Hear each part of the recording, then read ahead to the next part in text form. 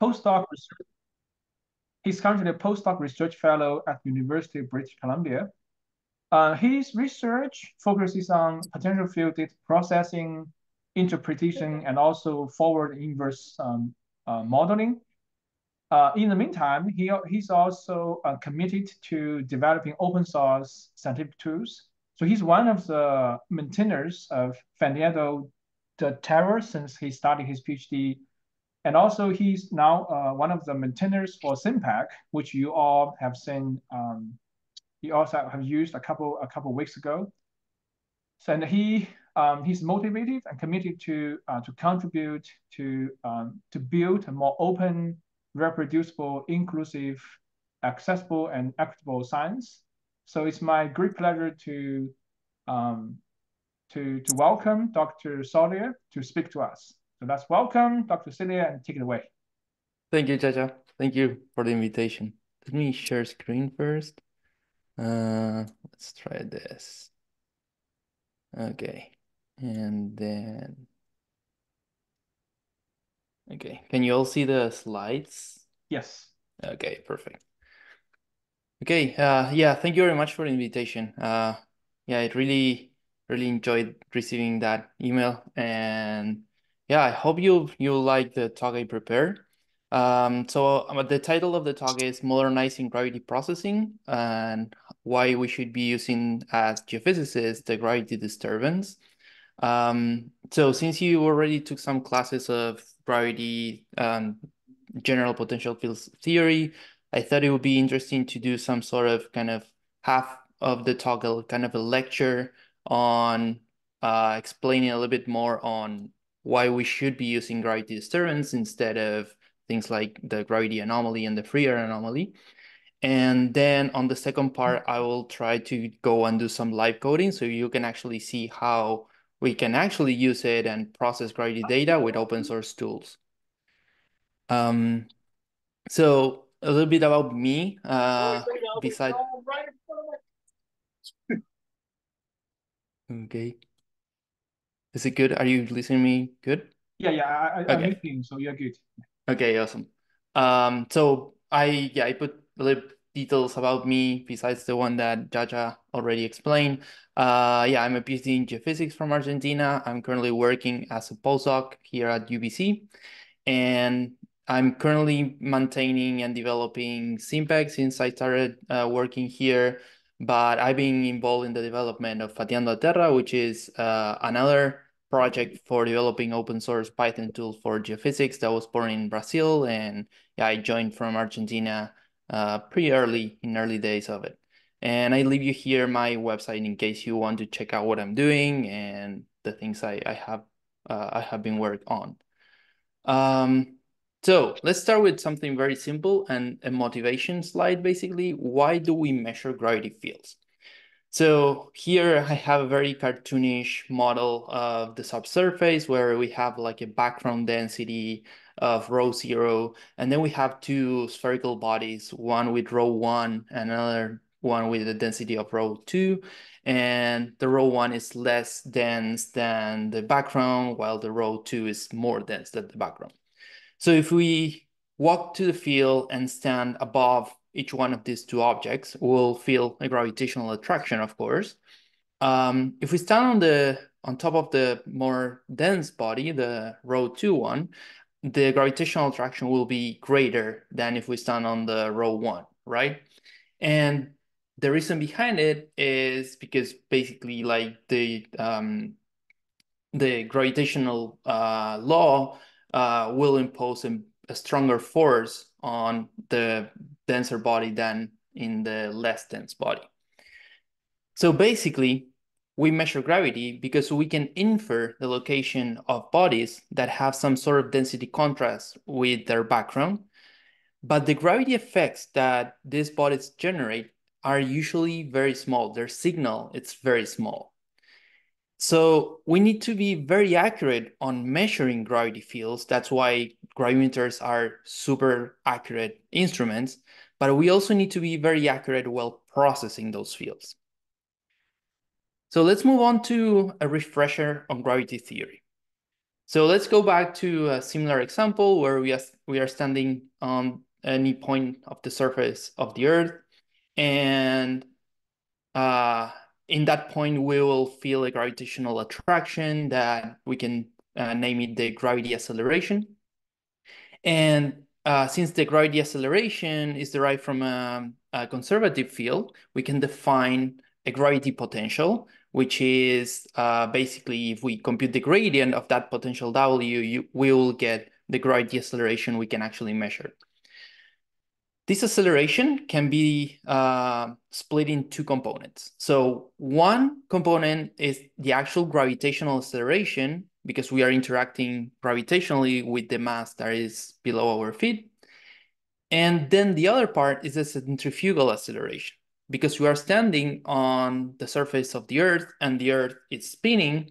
We are not in, um, we are standing on a non-inertial reference uh, system. Therefore, we have to add that centrifugal acceleration.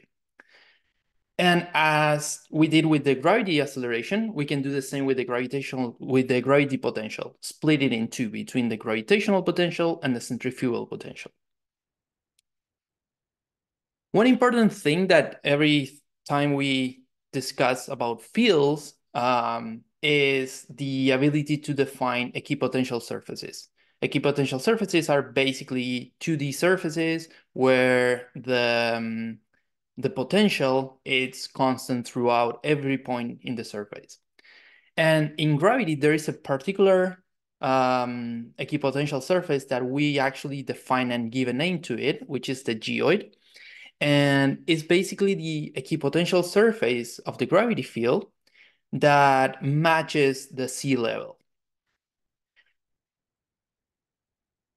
But when we go to the field, uh, usually with a gravimeter, what do we actually measure there? Do we measure the gravity potential? Do we measure the three components of the acceleration? The reality is that the gravimeters allow us to measure the strength of that acceleration only. So we get just a scalar, not the full vector. And when we go to the field and put the gravimeter and measure, we actually measure the whole gravity signal of the whole Earth, right? And here I show you a map a global map of the observed gravity. Um, and as you can see, there are a few um, textures that you can see there, but mostly that gravity field, the observed gravity field, uh, is controlled by the whole mass of the Earth. So basically, the whole signal is not too helpful for identifying uh, these type of objects that have some sort of density contrast. So what we need to do in order to see anomalous bodies is to define normal Earth. And the way that geodesists uh, thought about defining this normal Earth is through a reference ellipsoid. So a reference ellipsoid is like an ellipsoid, ellipsoid of revolution that approximates the geoid. And these uh, ellipsoids of revolution have a very interesting mathematical property, which is that they are it's themselves their own equipotential surface. So basically what we can do is define um, a, a, a, reference uh, potential u and assign one particular value to be the reference ellipsoid. That would be like at a one particular um, equipotential surface where this potential takes this uh, this value that one will be defining it as the reference ellipsoid. And it's actually the one that approximates better to that geoid. So now that we have a reference ellipsoid that it it's uh, it is its own equipotential surface, we can define the normal gravity, right? And the normal gravity is easily defined as the gradient of that potential u, and that's a vector. But the normal gravity itself, the quantity, we usually uh, define it as the strength of that vector. And you probably saw in some of the classes a formula to compute that um, the normal gravity on any point of the ellipsoid, which is usually called the Somigliana equation, that it's very simple. Here I wrote it down Uh, it just you just need the normal gravity on the ellipsoid, the latitude where you want it, and some uh, properties of the ellipsoid. Um, keep that in mind for now. So now that we have a normal Earth and we have the observed gravity that we can go to the field and actually measure, we can now define some sort of anomalous field of or disturbance. And these are two different definitions of two different quantities. First is the what we call the classical gravity anomaly, which is basically the observed gravity that we measure in the field minus the normal gravity on the surface of the ellipsoid. And then this another quantity uh, is the gravity disturbance that is the same observed gravity minus the normal gravity at the same point. So to put an example, can you see the pointer, Jiajia? Yes. Yes? Okay, We great. can see it. Thank you. Um, so let's say we go to the field and measure the gravity here on top of this hill, right? So if I want to compute the gravity anomaly, I take the value of the gravity I measure here in this point, and I remove the normal gravity on this point of the ellipsoid. But if I want to compute the gravity disturbance, what I need to do is to remove from the observed gravity the normal gravity in this point. Okay? So the gravity, mm, I think I, okay. So the gravity disturbance basically accounts for the effect, the gravity effect, the gravitational effect of all the anomalous masses in the Earth, right? Well, and here I can show you a global map of the gravity disturbance uh, taken uh, from satellite data. This is uh, observations at uh, 10 kilometers above the ellipsoid. And you can actually see that the gravity disturbance deviates from zero to negative and positive values, right? The gravity anomaly, on the other hand, accounts for the same effect of all the anomalous masses in the Earth, plus some extra effect of not accounting the observation height when we remove the normal gravity term. So if I plot, for example, a global map of the gravity anomaly uh, with the same observations at 10 kilometers above the ellipsoid, you can see that these do not deviate from zero. I'm actually using another uh, color map to make it very clear. But if you see the values, they're not around zero they're all shifted towards negative. And the reason behind it is that the gravity anomaly itself is not accounting for that height difference. It's not accounting for the observation of the point when removing the normal gravity term. So this is why geodesists introduce a free air anomaly. So, but before I get into the math of the free air anomaly, I want to tell you a little bit of, about the history of it. So it's not that geodesists were doing things in the wrong way. It's that they were doing the best they could with the tools they have back in the time. So back in the days when people didn't like, we didn't have GPS because it, it wasn't invented yet. Uh, the only way to compute heights was with theodolites that were able to uh, measure accurately orthometric heights, which are heights above the ellipsoid.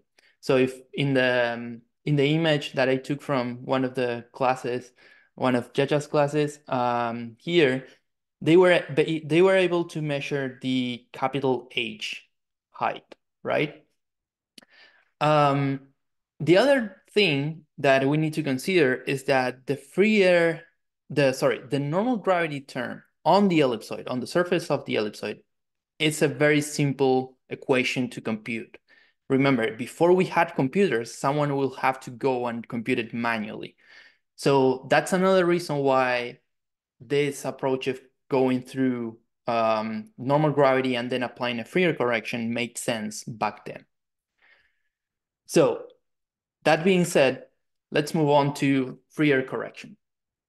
So let's say I want to compute the normal gravity at one point at a point P that is uh, above the geoid at a height at orthometric height h, capital H here. So, and let's say we define R as the vector that goes from the center of the Earth to that point in the geoid. So if I want to compute the normal gravity on that point, I can write it down as the normal gravity on the geoid, basically in this point, plus a correction term that I will call free air correction. And since the radius, that the magnitude of that vector r is much greater than the height, the orthometric height h, I can actually use a Taylor series expansion to approximate this free air correction. So basically I could write the normal gravity on this point P in this way, and this could be our free air correction term that we can write this, write it as this in this form. So if we take only the first order of that uh, of that expansion, uh, we can get that the the correction term can be approximated by just the first derivative uh, times h. Oh, sorry, I put an n here, n should be one here. Um, but basically, we can make it linear to the orthometric height. And if we approximate this normal gravity on any point of the serve of, of the space by the gravity of a sphere, would, would be this one, uh, the correction term would look like this. And if r is equal to the mean Earth radius and the g evaluated in r is the normal gravity at that at that location, uh, that would be the like 9.8, for example, we'll get with uh, we'll get this famous formula of the free air correction, which is basically just one constant, one negative constant times the orthometric height. Just one note, this constant is expecting that the height is in meters and it will return the normal gravity in milligals. There are a few changes you need to apply if you want to work in other units. But keep that in mind. The free air correction could be just like a linear correction on the height. And with that correction, we can define the free air anomaly.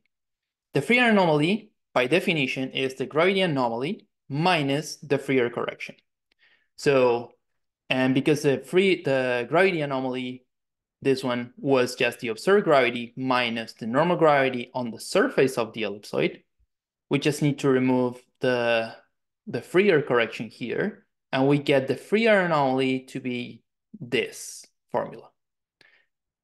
This one, if you remember, here the normal gravity on the ellipsoid, it's a pretty simple uh, equation to compute this correction is very simple to compute. So this um, obtaining this quantity back in the days before we had computers, it was a fairly simple thing to do.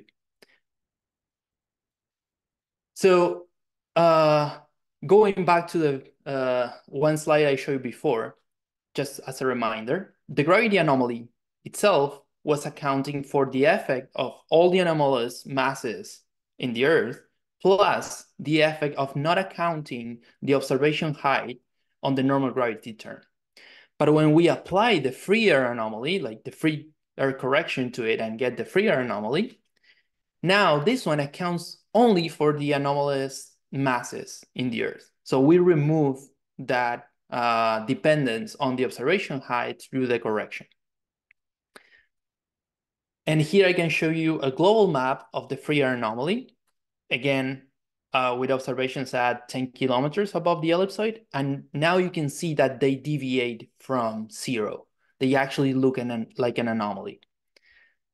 But free air anomaly has a few disadvantages.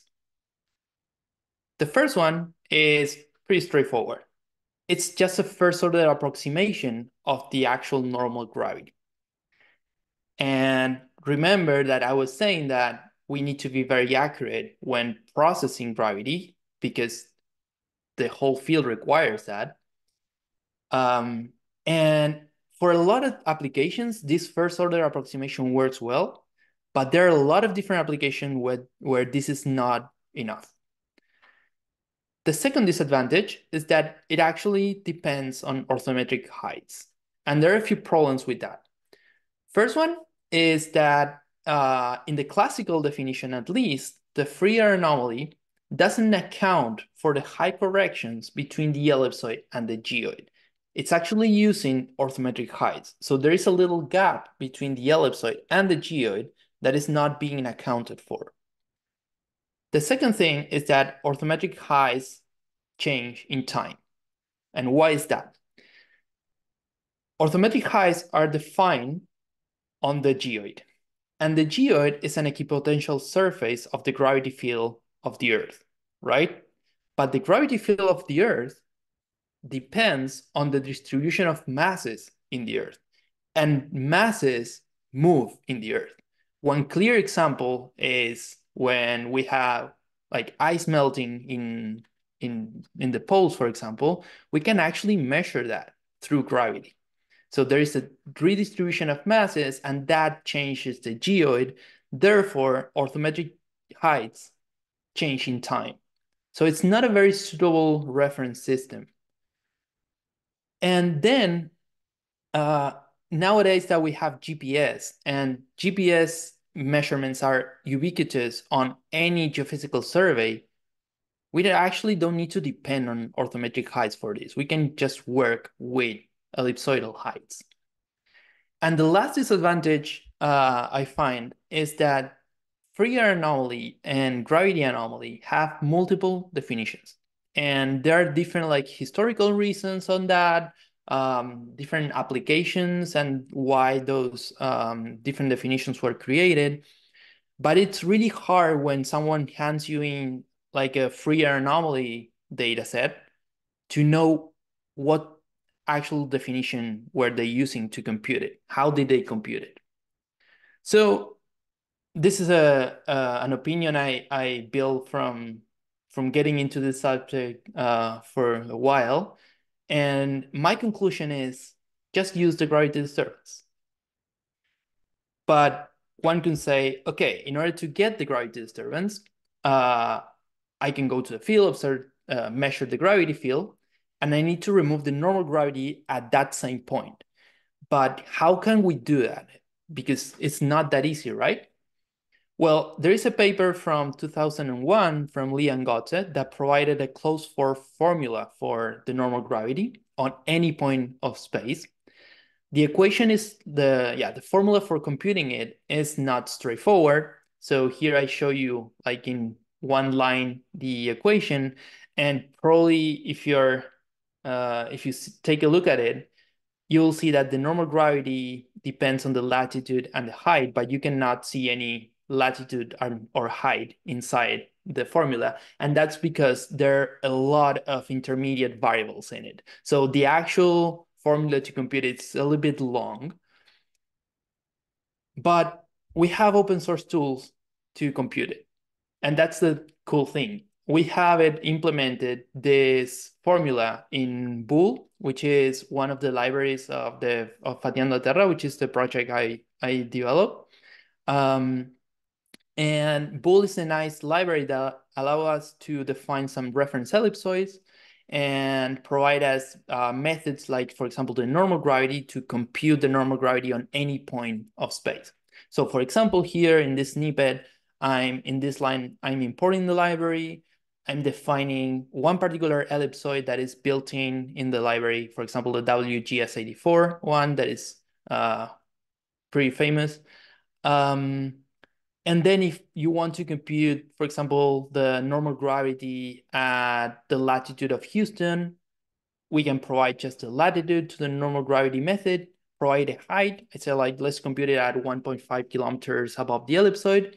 And then that easy, you can get it. So some demo time. Uh, let me show you some live coding, moving to like the second part of the talk. Um, so I prepared one notebook where I can show you how we can use these open source tools to actually do some gravity data processing. But before that, any questions so far? So a quick question. So uh, Diego. so I think the normal gravity, uh, that is the gravity we would expect uh, at some height, some elevation due to a uh, uniform ellipsoid. Is that right? Is that the, the thing that you, you subtract from the measured gravity? Uh, normal Yes. gravity defined um, based on the ellipsoid, right? It's just that you can calculate anywhere on the surface or anywhere above the surface of the ellipsoid. Is that right? Yeah, the normal Okay. gravity, it's the um the magnitude of the acceleration Mhm. that would create just the reference ellipsoid. Okay. And So uh, for the yeah, ellipsoid, uh, are we uh, are we- using a uniform density or is it is it like a layered model or very good question. Yeah. So um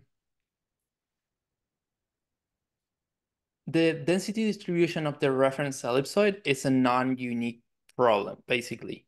Uh, you can Yeah. define a lot of different density distributions and obtain exactly the same uh, potential. Um, usually by normal Earth, uh, in geophysics, we we define this layer Earth basically, but it's a little bit of like a thumb rule. It's not like um, written in stone but it's that okay you have like the crust uh, of like 35 kilometers maybe and from there then you have the mantle with a certain density and there are some values that are like the mean values throughout the um, the globe and usually we use that definition and those values of the normal earth to um, interpret basically the density contrast we can see or we can infer from the, the gravity disturbance. So basically, if we see a bump in the gravity disturbance that aligns with a density contrast of um, of 0.2, speaking in grams per centimeter square, for example, uh, we would say like, okay, the density of that body is the background density of the normal Earth. That would be, for example, 2.67 if it's in the crust, plus that 0.2. Does it make Okay. sense? Okay. So another question, we're really trying to understand this. So the gravity disturbance, it's basically similar to free air anomaly, just that now you're using uh using the ellipsoid as a measure of the of the height above the surface instead of using the the geoid. Is that right? Uh, Yes. Let me show you one slide before. I'm trying to understand the difference between free air and, Yeah. disturbance. I think the, the difference lies in the um, orthometric height. Yeah. Um, so for gravity disturbance, uh, you don't, I don't care exactly which reference system you're using, which type of height you're using. I'm only caring on the fact that the I'm removing the value of the normal Earth on the same point where I observe the gravity. Mhm. Therefore, the only effect I have left is the gravitational effect of the anomalous masses.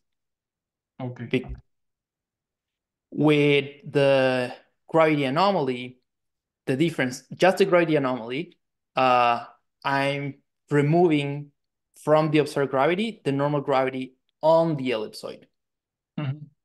So you have that gap between the where you measure and where like the normal gravity where you're removing it from. So you have to account for that height difference, and that height difference is introduced in the uh, uh, yeah here in the free air correction basically. And in order in the way we the literature usually introduce that correction is by applying this Taylor series approximation of like, Yeah. okay, I, I don't know exactly what the difference is, but I can just approximate it. Uh-huh. Yeah, yeah. And that's how you remove it. In the end, these two fields should be pretty similar, but there are some issues. For example, the fact that in the classical definition, the free air uh, correction is defined using the geoid height. Mhm. Therefore, if you go here, you'll be, you have the observed gravity here. You'll remove the normal gravity on the ellipsoid.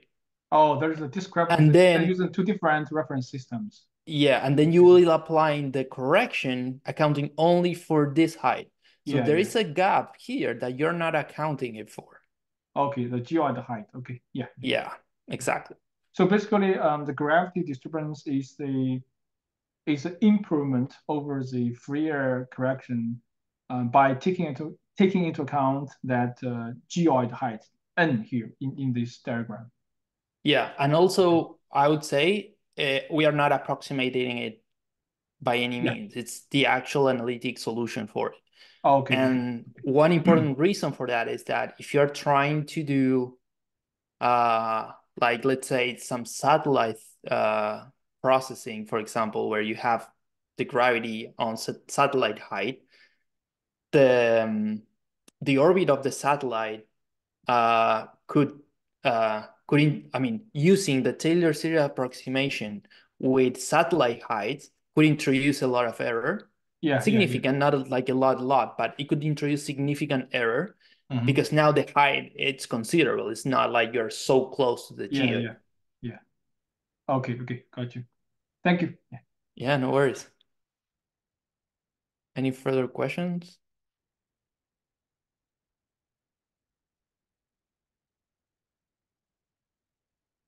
Okay. Um, so as I was saying, let me show you some notebook. Um, so uh, yeah, I prepared notebook um, where I'm planning to do some great data processing, applying some of the concepts I explained today, um, and also using all open source tools and the Gravity dataset I will be using. It's also uh, open access, so you can go and download it. Um, I will share a link. There is in it's in one of the slides, but I have all the code here in this repository. Uh, I actually can share it on Zoom probably. So if you want to take a look at it, and there, okay, what is it? Chat here. Um, in that repository, you can find the the notebook itself if you want to play with it.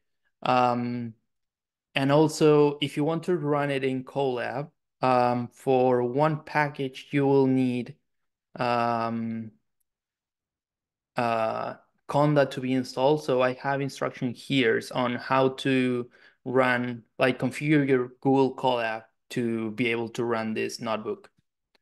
Um, but yeah, we can we can see if we can uh, do some some practical coding by the end. Even if you have any trouble, we can troubleshoot it. So um, here I prepared the notebook. There are some missing um, cells, like they're in blank, like this one, where that I will be completing as I write. So uh, here I'm importing a few um, a few libraries like NumPy, Pandas, Xarray. Xarray, maybe you're not too familiar with it. Uh, Xarray is like Pandas uh, that allows you to work with um, uh, with tables, tabular data. But Xarray allows you to work with multidimensional data, which is great for handling, for example, two-dimensional grids. Then I will use PyProj, which is a very nice Python uh, library for applying uh, projections. So going from um, geographical uh, coordinates to plane coordinates.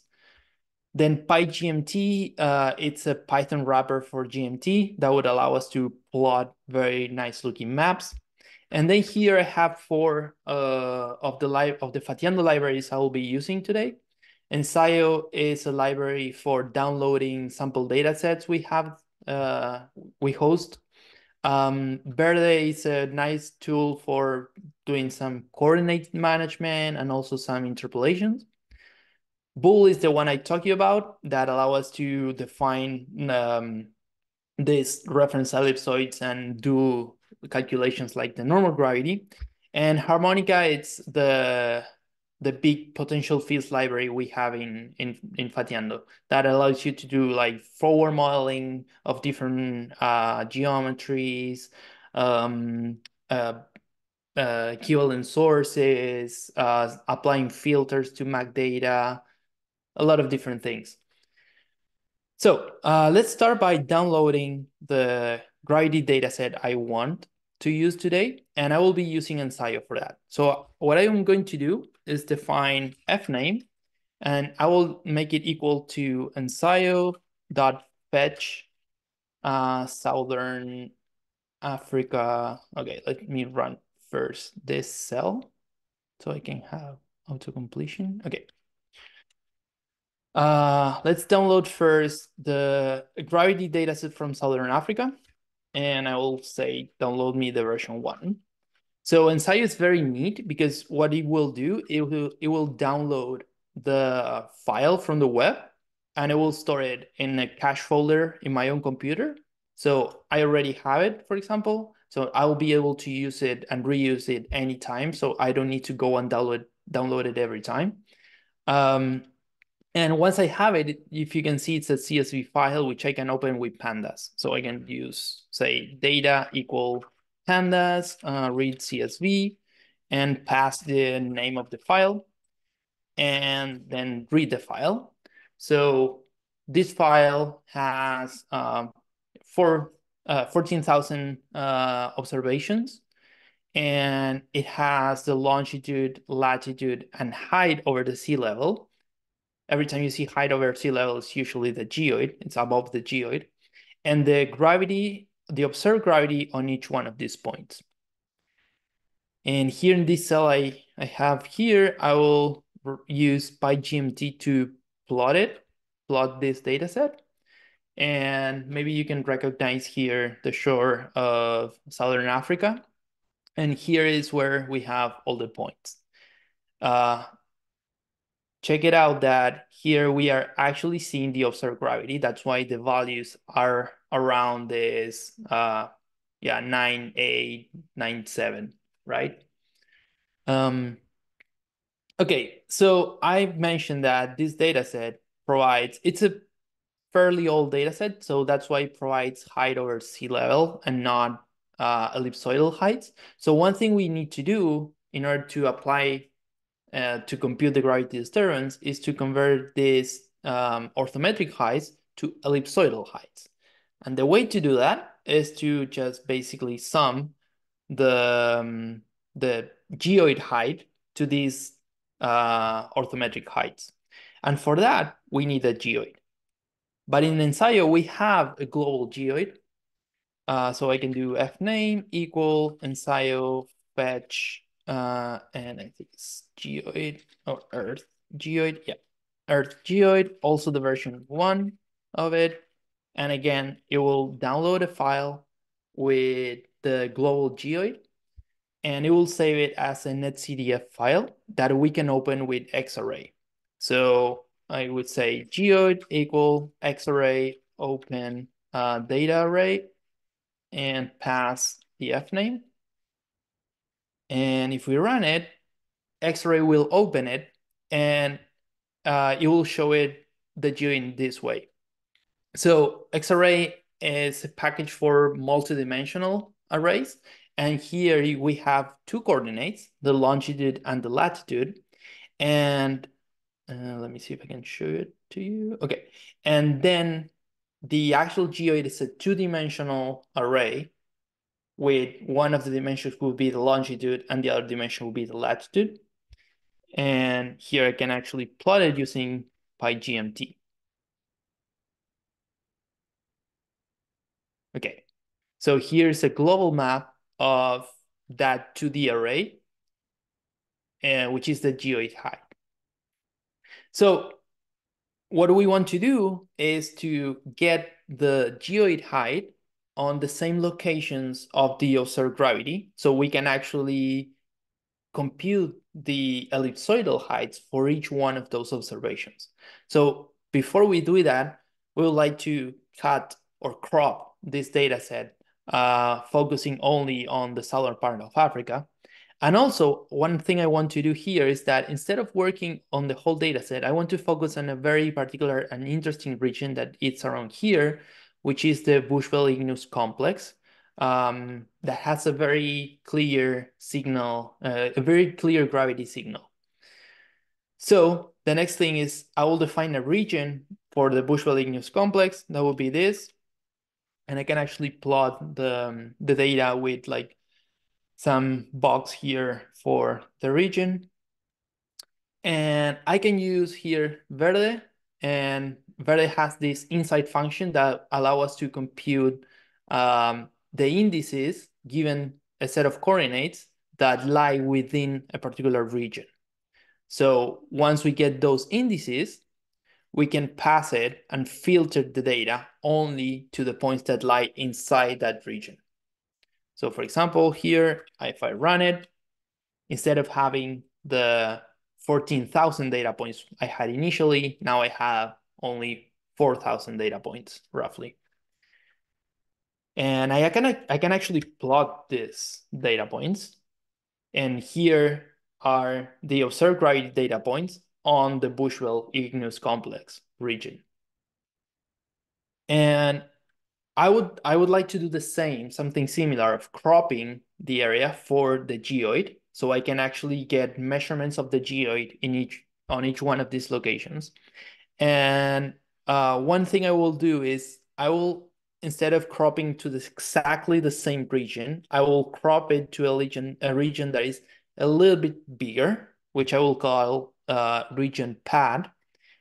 And I can get that padded region with Verde. Verde has a nice function it's called pad region that allows you to extend a particular region, in this case, five degrees to each side.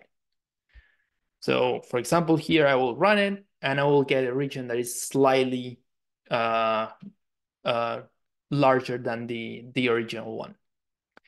And Xarray allows, allows us to easily crop our two-dimensional grid with this sel method, passing which uh, longitude and latitude slice do we want, how do we want to cut it. And I can just run this cell and I can plot it. Let's plot the geoid only in that uh, cropped region. And here you can see that it's mostly the geoid is mostly uh, above the ellipsoid in, in this region, right? But this is only a two-dimensional grid. So we, what we want to get actually is measurements of the geoid on each one of the observation points. And to do that, we need to interpolate this two-dimensional grid on each one of the data points we have. So in order to apply an interpolator, um, I'm going to use Verde that has uh, quite a bunch of different interpolators, but those interpolators work only on plane coordinates, not on latitude and longitude coordinates. So before I can interpolate those, I need to uh, apply a projection to get them from geographic coordinates to plane coordinates. And I can use PyProj for that. So I can just go and define a given projection that I would do that with pyproj.proj and I can define a Mercator projection and passing the mean latitude of the data for it. So I define the projection and then I can just use the projection by passing the longitude and latitude values of the data. And that way I can define the easting and northing in meters for each one of the observed data points. And here, what I'm doing is assigning this easting and northing column to the data frame, to the pandas data frame. So if I run this cell, I will be projecting the longitude and latitude columns using that Mercator projection to easting and northing and adding these two columns to the data frame. Okay, is it clear enough, this one? Okay. Um, then I want to do the same with the geoid because the geoid as well is in geographic coordinates, but I want it in the same projection. So what I want to do is to project this region, the geoid, but the geoid is already a grid. So I can use uh, verde.project grid that will allow us to pass a given two-dimensional grid, a given projection, and which method we'll be using to interpolate that uh, projection, that projected coordinate for the grid. So if I run this cell, I will get a few warnings that, yeah, there are future warnings coming from pandas that we are taking care of that right now, uh, but ignore that for now. So what we will get is another uh, geogrid that it's also a two-dimensional array, but now instead of being defined on longitude and latitude, it's defined on easting and northing, and these two are, are in meters. So basically what we did is project the data points, project the geoid, and now what we want to do, now that we have them in projected coordinates, is to actually get the values of the geoid on each one of the observation points. So if I go down, I can convert that two-dimensional grid of the geoid into a table, like columns, basically, and define a cubic interpolator. And basically, uh, we would we what we we do is that is fit this interpolator with the coordinates of the geoid and the geoid height, and then use that same interpolator to predict here the values of the geoid on each one of the observation points. And that will get us the, the geoid height for each one of the observation points. And then we can define the geometric height, which is the ellipsoidal height, by computing the sum between the height above the sea level plus the geoid height in that same location. So if I run this, we'll have a few more columns into our, our table, which is the geoid at each one of the locations and the ellipsoidal height on each one of these locations as well. This was a kind of a long process, but in summary, what I want to highlight is that we started from observations that only had heights above the geoid, this column. We had a global geoid grid and what we did is compute the geoid heights on each one of the observation points. And by adding that geoid height to the sea level height, we can get the ellipsoid height, which is this one. Okay, is it clear enough, Jiajia? Any questions, students? Uh, any questions from the students? So we didn't really talk about uh, the process in class. So if you have any questions, go ahead.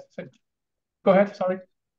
Oh, I was just going to ask about um, like RAM capacity of the CPU. Is this normal um, capacity for memory or if I want to do this, I need to, I can do it on my normal computer, right? Yeah, yeah, this uh this notebook particularly um there's only one step probably further down that would require a little bit more RAM, but uh, you can totally run it in Google Colab that provides you, I think, two gigabytes of RAM. So basically, yeah, you can you can run it on any computer. Okay, but thank you. Thanks for asking. That's a very good question.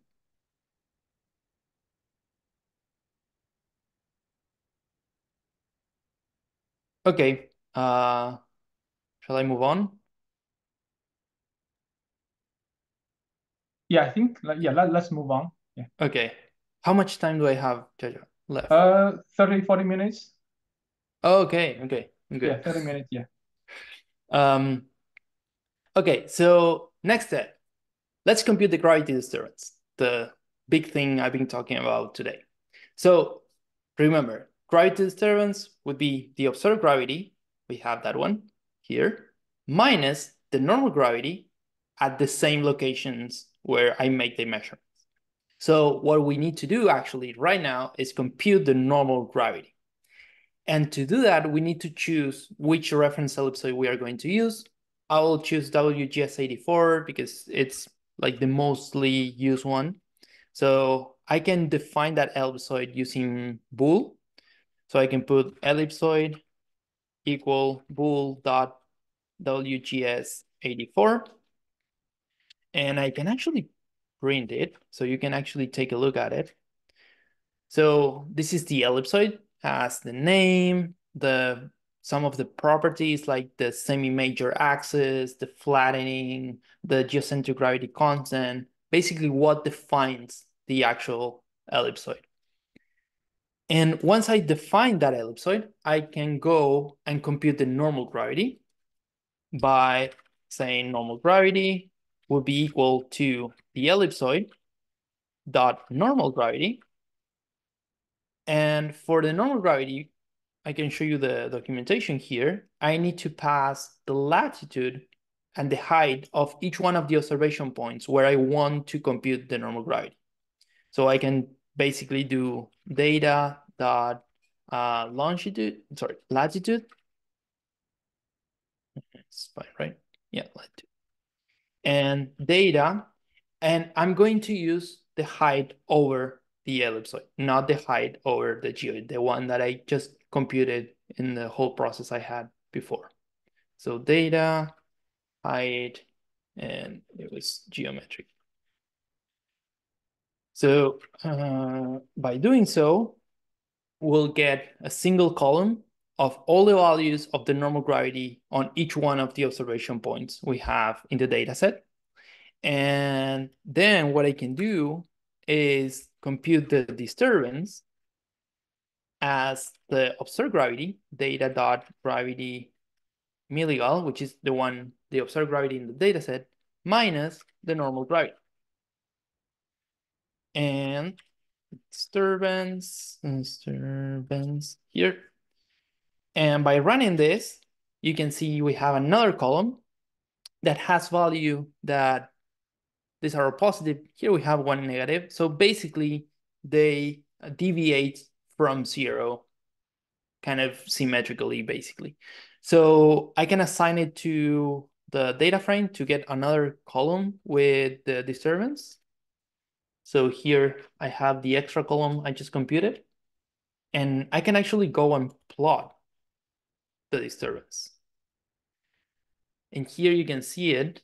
Um, so red values are positive gravity disturbance, negative values are negative value, uh, negative gravity disturbance values. Okay. Any questions so far?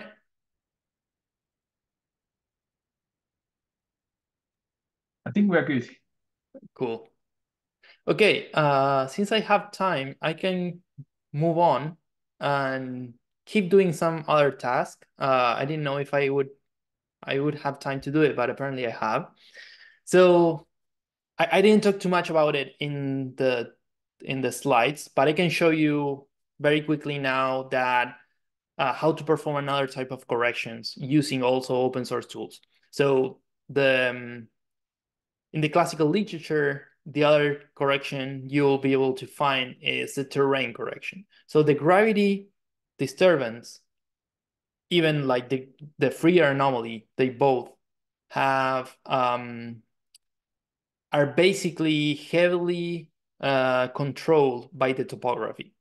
And think about it, we are removing the normal Earth, and the normal Earth is just the ellipsoid. So when we remove the normal Earth, all the masses that are above the ellipsoid have a very high density contrast, like basically the act, their actual density, while the masses that are below the ellipsoid will have a density contrast as the difference between the background density and their density, their own density.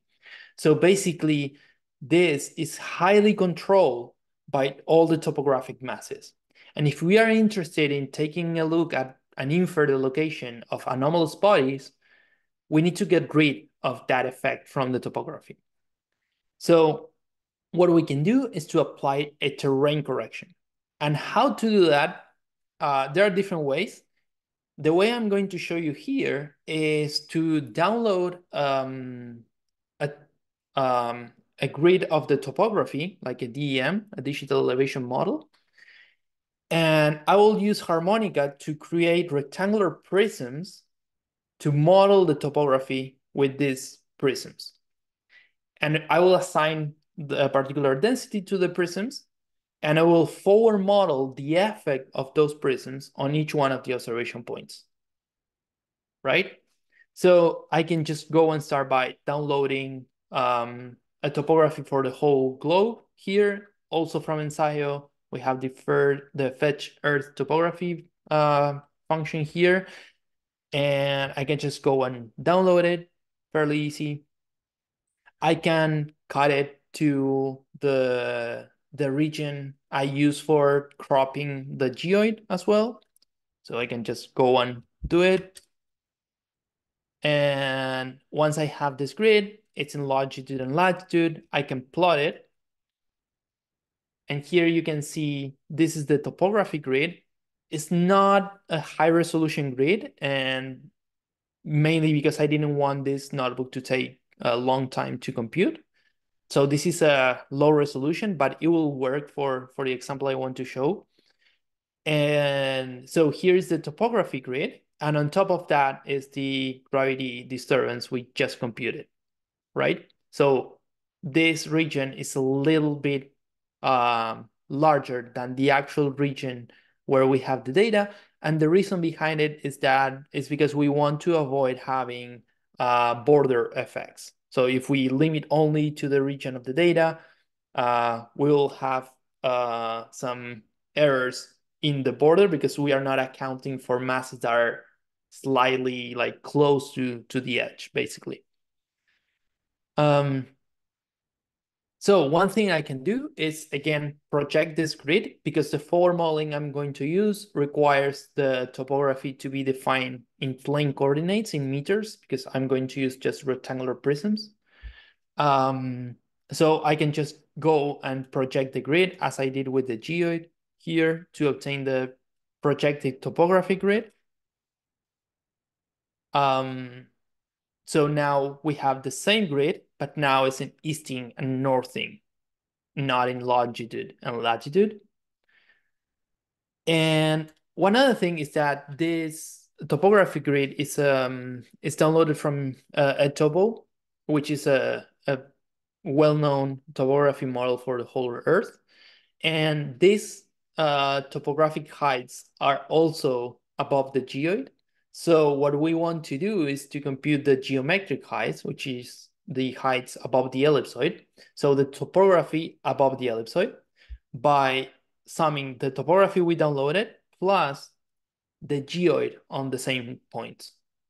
And that, that way we can obtain the topography above the ellipsoid and not above the geoid. So once we do that, we can just go and define a model of rectangular prisms for the whole topography. So I what I'm doing here is assigning a density for each one of these prisms where I'm saying like, okay, if the height is, if you're above the ellipsoid, assign a density of 2,670 kilograms per meters cubic. Uh, but if you're below, we are going to assume here that we have water in there. So the density for the water should be the density contrast between the water and the density of the normal earth in that region, which is the normal crust. So here we'll have the density of the water minus the density of the normal crust, basically. And this is why we'll have a negative density contrast where we have the sea in this case.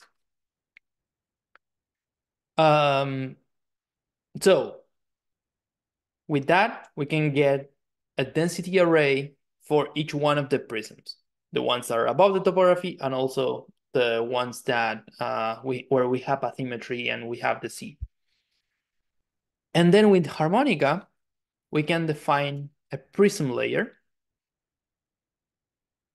that will take basically the coordinates of the topography grid, the easting and northing ones. It will take a surface that will be the topography, actually, and then a reference that will set to zero. So basically what it's doing is that on continent, you'll have the prism going like this, and on the water, we'll have the prisms going below the ellipsoid. That's why we have a reference equal to zero. And for the properties, we are assigning just the density as the array we define here.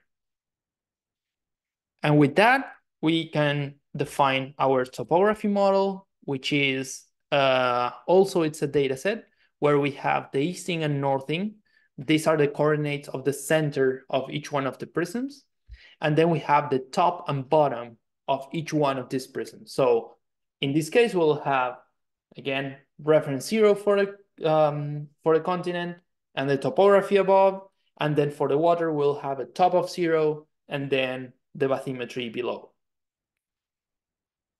And then as a data variable, we'll have the density array we just defined, which actually we can see here a few different values, like here a continent, and here we have ocean in this case.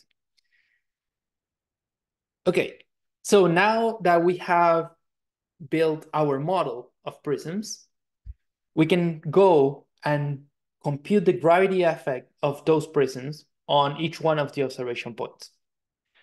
So I can just go and define this coordinates tuple, which is basically the easting, northing, and height of each one of the observation points. Um, and then compute the terrain effect by calling topography model, which is the model I just defined here, and using the uh, this accessor, which is prism layer dot gravity, and passing the coordinates where I want to compute the gravity field on, and also specifying which field I want to compute. And in this case, I'm only worried about the z component of the acceleration. So in one line, I can just go and compute the terrain effect. And once I have it, I can define the Bouguer disturbance, which is the disturbance minus the terrain effect. Okay, and finally here, I will just assign these two new uh, arrays into our data frame so we can have more columns in there. So let's run this. This one will take a few seconds because the for modeling stage, it's a little bit demanding on CPU. But since the model is not like super high resolution, it didn't take too long. If you are using a very a high resolution DEM, this could probably take a few more minutes. So here we have the data frame and you have here the two new columns, the terrain effect and the gravity Bouguer, the Bouguer disturbance basically. And let's plot the Bouguer disturbance to see how it looks. Here I have this cell to plot it using PyGMT. And here's the disturbance. And it's mostly negative values. And I think you you know why this is happening.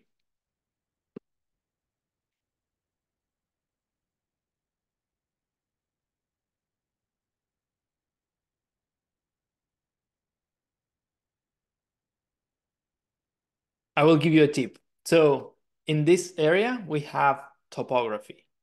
So if we have topography, what happens below?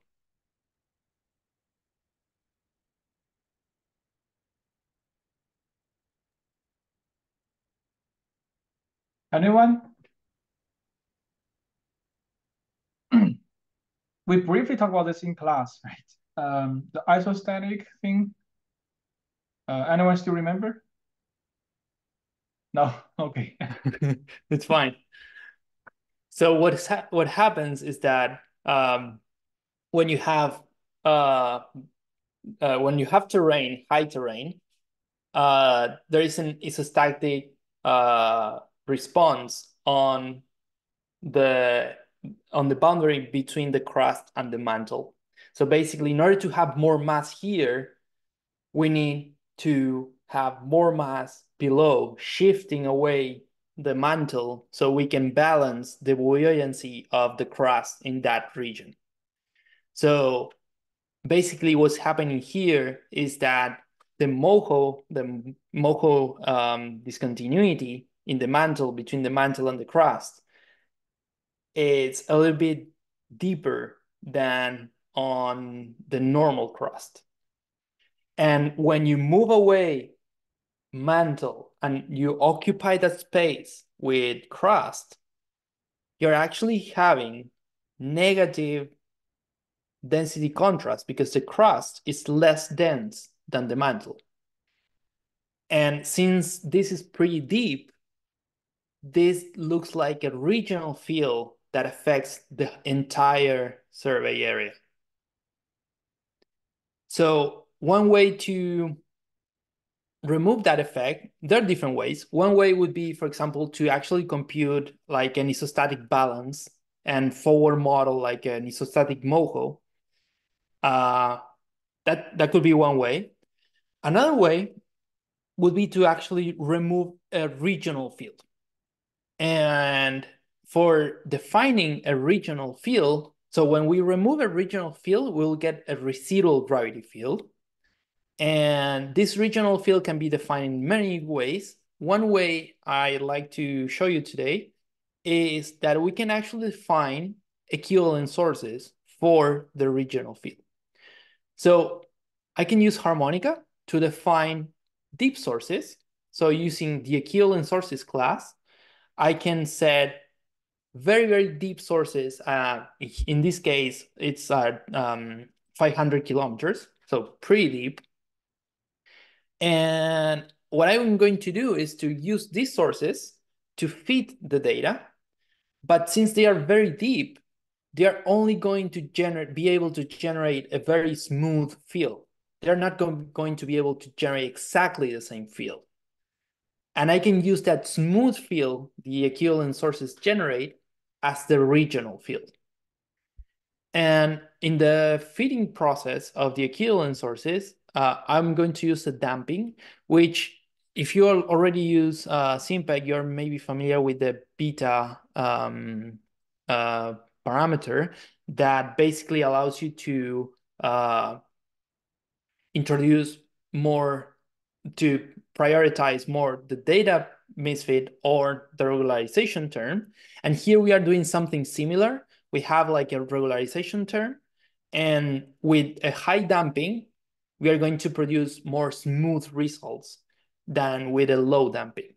So I'm just going to use a very high damping of 1000. That's pretty high.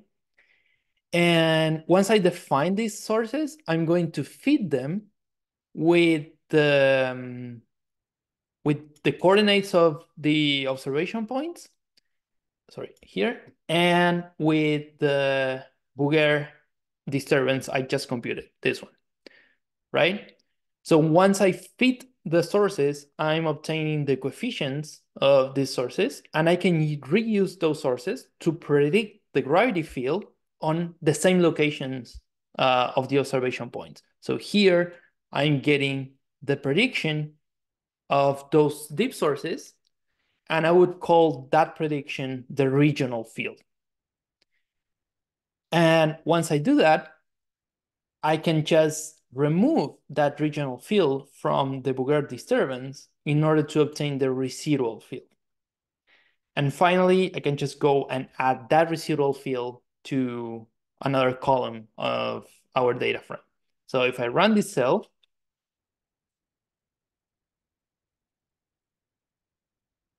Okay, here it is.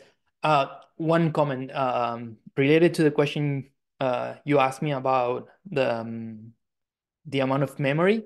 This step, if you have way more um, data points, it might need a lot of RAM and might need some heavy computations uh, because I'm actually feeding equivalent sources. And I think Jiajia told you a little bit about like how intense uh, feeding equivalent sources might be.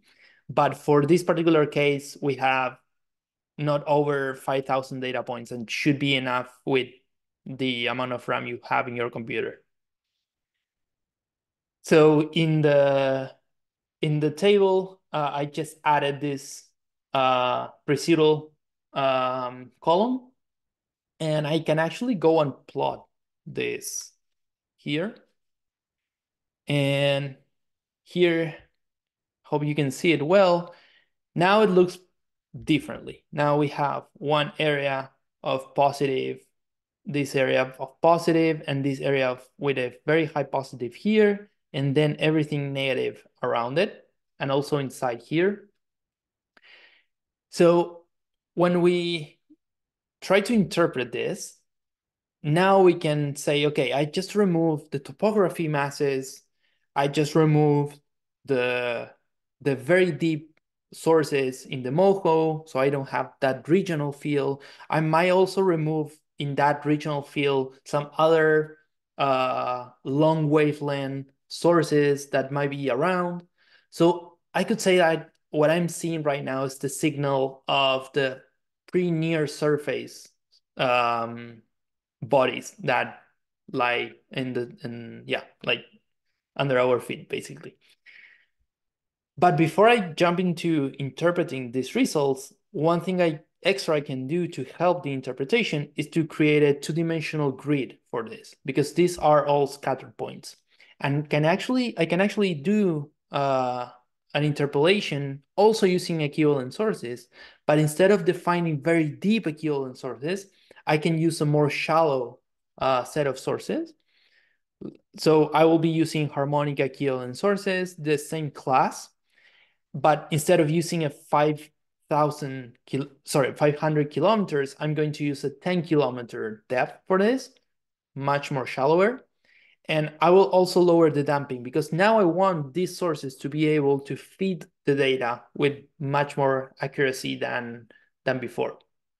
So once i define this other set of sources i can use them to feed uh, the coordinates and the residual gravity we have plotted here and once I feed those sources, instead of predicting on the same locations, now I want to predict on a two-dimensional grid at a constant height. So what I'm going to do is to use Verde to define a grid of coordinates. So I'm going to use um, the region of uh, that we use to cut the data. I'm going to use a spacing. Basically, this controls the resolution of the of the grid.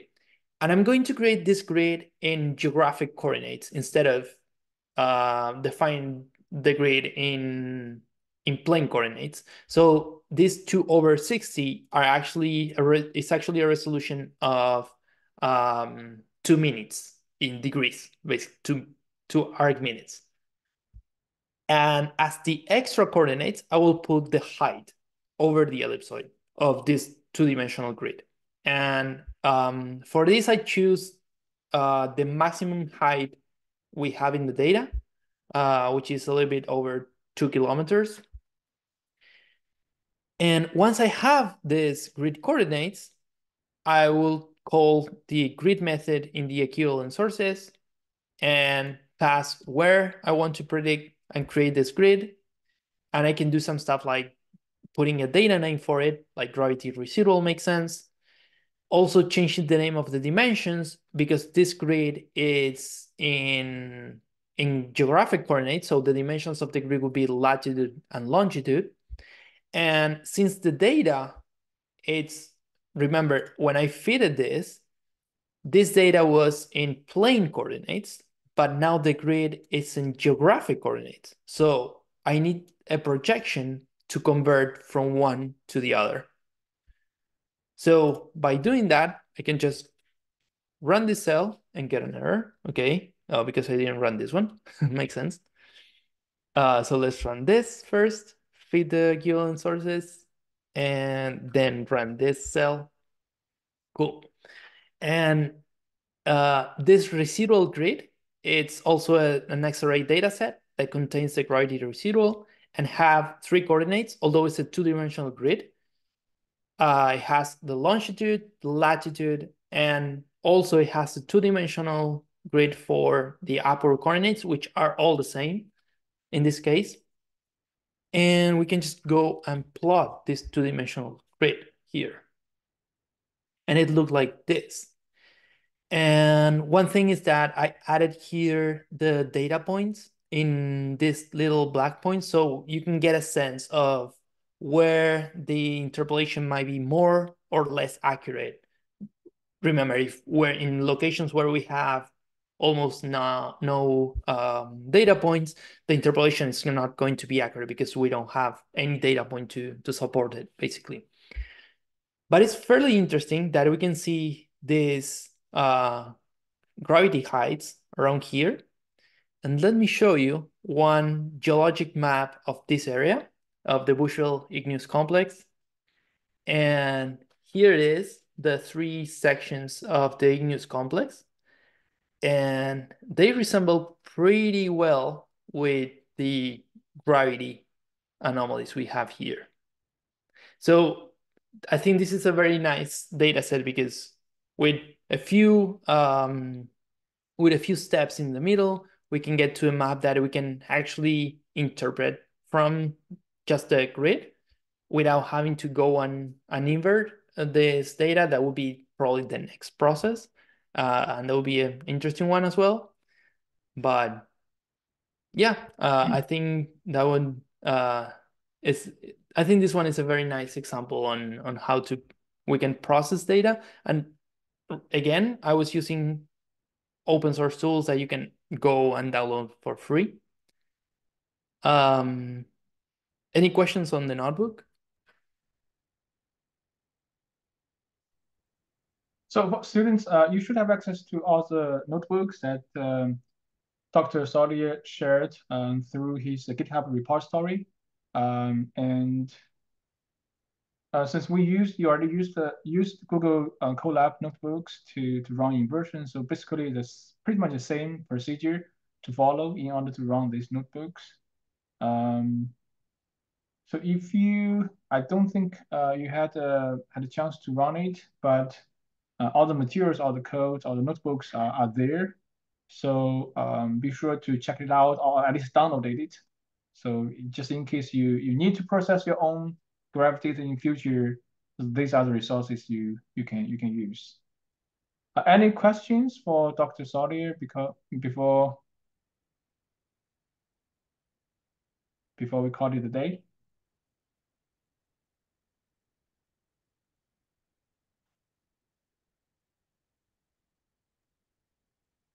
I don't have a question, but I do thank you for the notebook. Uh, this is going to be this is going to be great to use in the future.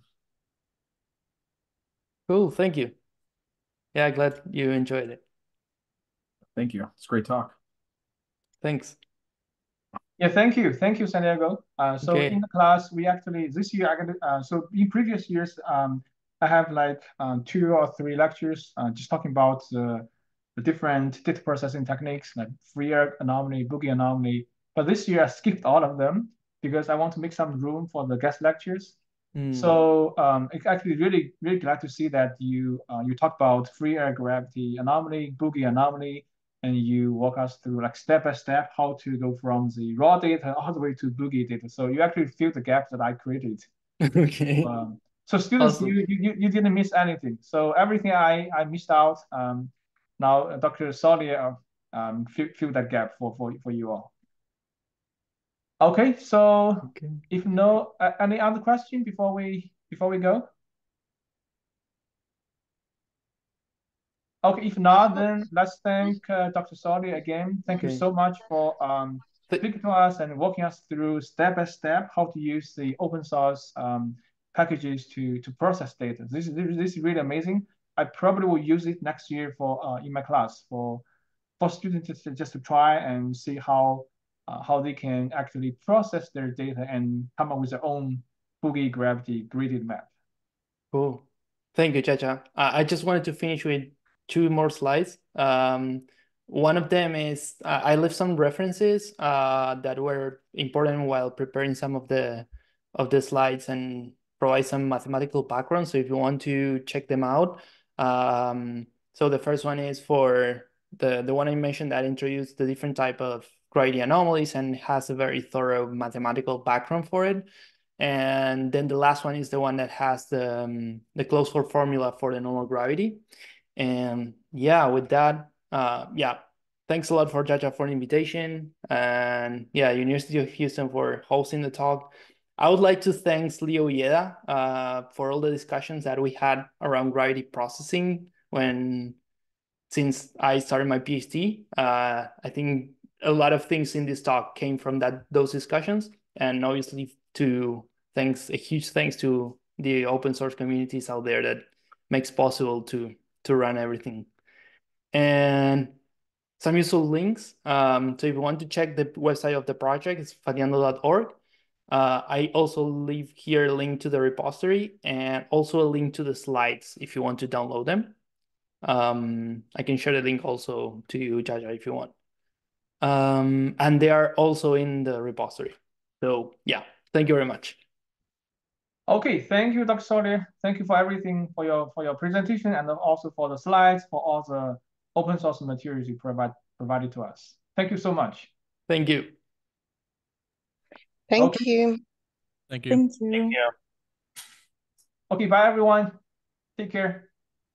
Yep. Bye guys. Bye bye. Bye, Santiago. Thank you so much. Bye, Jiajia. Thank you very much for invitation. Really. Let me.